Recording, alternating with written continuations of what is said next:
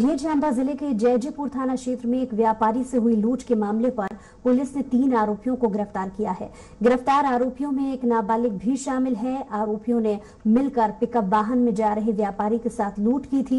एक फरार आरोपी की तलाश की जा रही है। गिरफ़्तार किए गए तीनों आरोपियों से पूछताछ की जा रही है। और उनसे लड़ाई से जब पूछताछ किया गया तो उन्होंने अपने अपराध को कबूल किया। एक आरोपी अभी फरार है और तीन आरोपियों की गिरफ्तारी की जा चुकी है। और उनसे एक मोबाइल और एक दो हज़ार रुपये की बरामदगी भी हुई है और बाकी फरार आरोपी की पता तलाश जारी है।